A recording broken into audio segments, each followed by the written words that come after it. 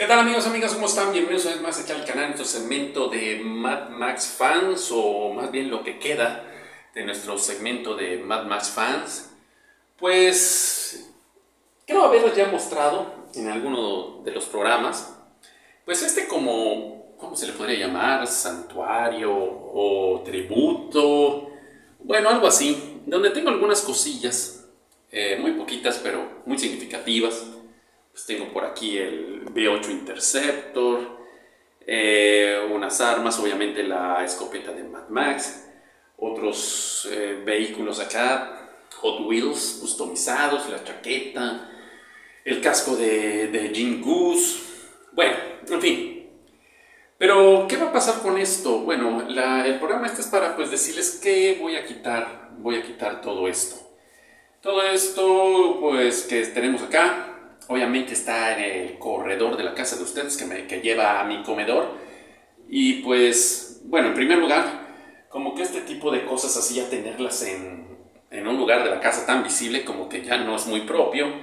Eh, a veces vienen visitas, ¿me entienden? Y no quiero dar la impresión de que soy un, un inmaduro, yo qué sé. bueno, en fin. Eh, entonces se va a quitar esto también pues muy ligado a la raíz de que, de que la franquicia pues obviamente ya cayó, ya murió. Eh, George Miller pues cometió bastantes errores, entre ellos de hacer una, un reload tan fuerte con, pues, con Fury Road, que aunque fue un éxito, pues luego nos quisieron traer otras películas más, pero eh, pues un pleito por allá con Warner y toda la cosa, en que todo este proyecto se atrase nueve años. Y pues nueve años hoy en día, cuando la vida es tan acelerada, se puede decir que son lustros, lustros. Entonces los fans, pues ya como que le, pierden el hilo a las cosas, ¿no? No se debe, si vas a hacer una, una continuación un spin-off, yo creo que es un grave error esperar tanto tiempo.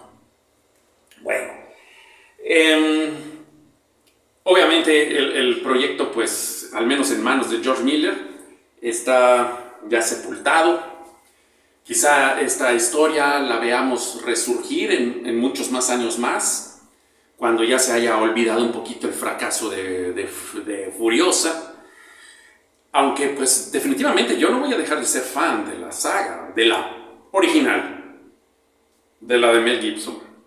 Aunque gracias a Fury Road con Charlize Theron, pues hubo una nueva fanaticada que inclusive ya muchos de ustedes saben que se hace un, un festival tremendo ahí en el desierto en Estados Unidos, el, el Wasteland, donde es una semana con conciertos y todo el mundo lleva sus coches customizados, disfraces, vestuarios, es, una cosa tremenda. También vemos, también hemos visto muchos magníficos eh, fan films pero pues muy ligados también a Fury Road, no tanto a Mad Max original.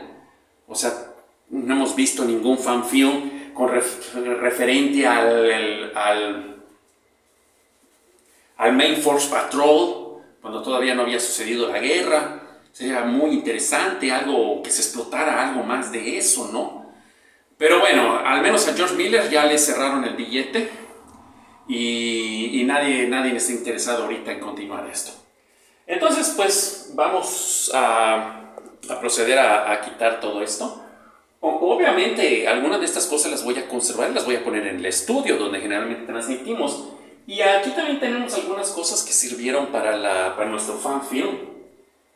Eh, este, este casco es muy, muy, pues salió en una escena muy padre eh, los gogles y toda la cosa. También les mencioné por allá que íbamos a estar haciendo algunos shorts. Eh, está un poquito de stand-by eso, pero no, no lo hemos, no lo hemos descartado, ¿no?